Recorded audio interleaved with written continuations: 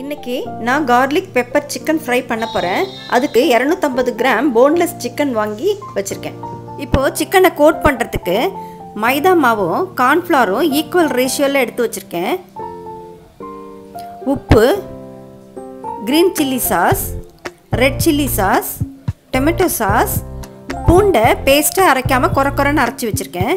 Pepper powder சிக்கனை fry பண்ணுறதுக்கு oil ரெண்டு டேபிள் ஸ்பூன் வெண்ணெய். இப்போது சிக்கனை கோட் பண்ணணும். அதுக்கு சிக்கனுக்கு தேவையான உப்பு.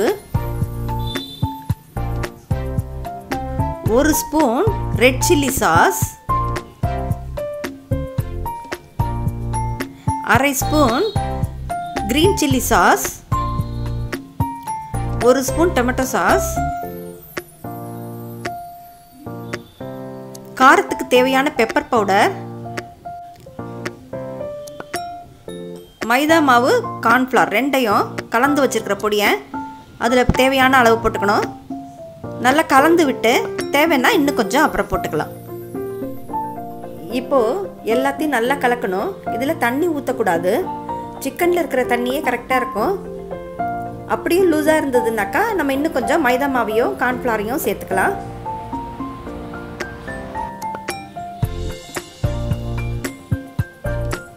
நல்லா கலந்து அதை ஒரு மணி நேரம் ஃப்ரீசரில் வைக்கணும். இப்போது ஃப்ரீசரில் வச்சு ஒரு மணி நேரம் ஆயிடுச்சு. எண்ணெயை அடுப்பில் வச்சுருக்கேன். எண்ணெய் காஞ்சதுக்கு அப்புறமா சிக்கனை போட்டு எடுக்கணும்.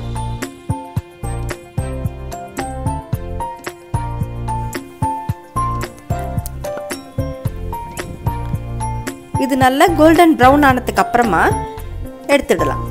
இதே மாதிரி எல்லா சிக்கனையும் போட்டு எடுத்துக்கணும்.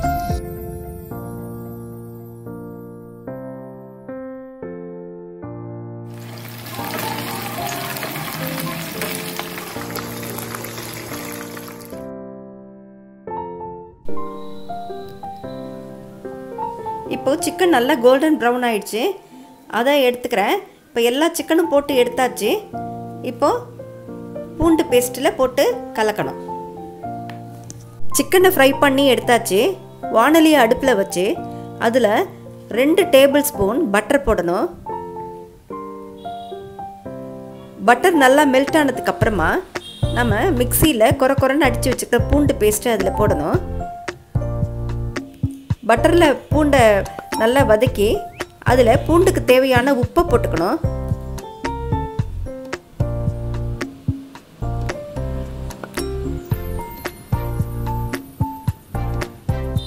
இப்போ பூண்டை நல்லா வதக்கி ராஸ்மெல் போனதுக்கு அப்புறமா அதில் சிக்கனை ஃப்ரை பண்ணி இருந்த சிக்கன் எடுத்து போட்டுக்கணும். கொஞ்சம் பெப்பர் பவுடரும் அதோடையே சேர்த்து போட்டுக்கணும். இப்போ எல்லாத்தையும் சேர்த்து கலந்தா garlic pepper chicken fry ready garlic pepper chicken fry ready நீங்களும் செஞ்சு பார்த்து உங்கள் ஃபீட்பேக்கை கமெண்ட் செக்ஷனில் போஸ்ட் பண்ணுங்கள் இந்த வீடியோ பிடிச்சிருந்தா லைக் பண்ணுங்கள் ஷேர் பண்ணுங்கள் மறக்காமல் மீரா மேஜிக்ஸ்க்கு சப்ஸ்கிரைப் பண்ணுங்கள் இன்னொரு இன்ட்ரெஸ்டிங்கான வீடியோவில் பார்க்கலாம். தேங்க்ஸ் ஃபார் வாட்சிங்